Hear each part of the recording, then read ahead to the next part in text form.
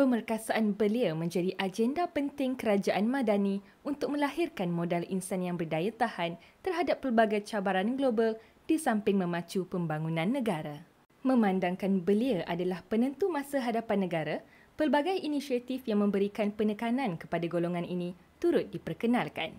Lebih ketara lagi, inisiatif dikhususkan kepada anak muda turut wujud di negeri yang sealiran dengan persekutuan demi mendukung aspirasi kerajaan Madani tinjauan media telah dilakukan untuk mengetahui respon anak muda terhadap inisiatif yang dilaksanakan. Bila saya dapat duit Ibu Rahmah, saya rasa ia dapat membantu saya beli uh, barang keperluan saya yang lain contoh macam sabun ke uh, atau sabun basuh baju, uh, benda-benda macam tu. Pada pandangan saya, Ibu Rahmah sangat membantu untuk kita orang sebagai student kerana sedikit sebanyak boleh membantu dari segi um, kita orang punya study ya. Saya uh, pernah apply untuk free pass untuk KTM untuk pelajar dan OKU.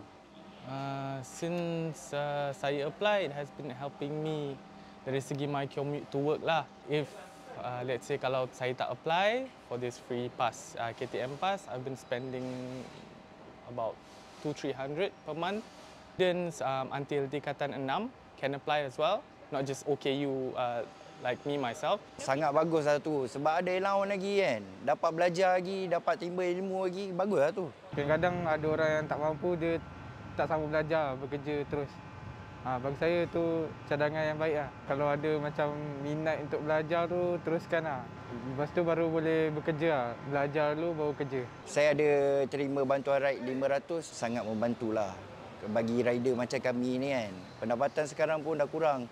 Rider pun makin ramai kan.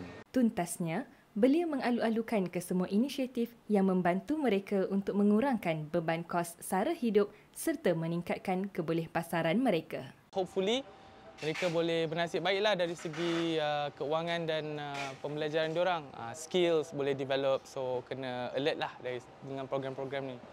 Uh, saya harap uh, harapan sekarang boleh memberi banyak bantuan lagi lah kepada student-student terutamanya yang kurang berkemampuan. Lah. Saya harap uh, kerajaan boleh teruskan lah bagi bantuan-bantuan macam ni untuk memudahkan rider kat luar sana. Lah.